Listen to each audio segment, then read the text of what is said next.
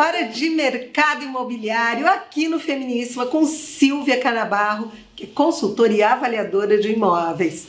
Silvia, que história é essa de Black Friday no mercado imobiliário? Tudo bom, Carmen? Então, parece mentira, pessoal, mas nem os imóveis escaparam tiveram que entrar no Black Friday, que é onde todo mundo está procurando, né, a Carmen? Uh, descontos bons. Sim, é a hora de comprar. É a hora de comprar. Então, assim, ó, pessoal, se vocês uh, estiverem com algum imóvel em mente hum. ou se encontrarem algum imóvel que vocês possam vir a se interessar, me procurem que com certeza ele vai ter um desconto do Black Friday. E Carmen, parece é. mentira, mas os descontos vão até 70 eu não acredito, sério. Muito grandes e realmente assim, ó, o pessoal tá aproveitando. Tá, isso se estende para apartamentos e casas de pequeno porte, de grande porte, para tudo. Todos os imóveis, não só os de alto padrão, como os outros estão todos. E quem quiser investir também em salas comerciais também inclui. Também, cara. Então, ó, gente, a hora é agora para terminar o ano assim,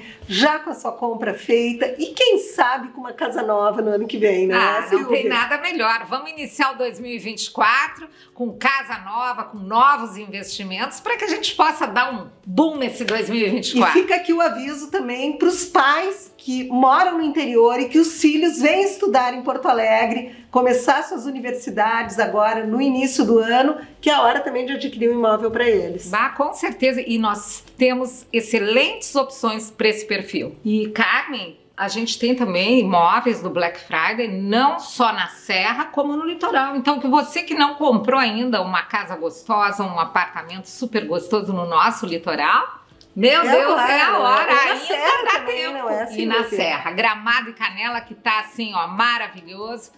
Aproveita essa oportunidade. É isso aí, fica de olho e procura a Silvia para comprar muito bem no Black Friday do mercado imobiliário.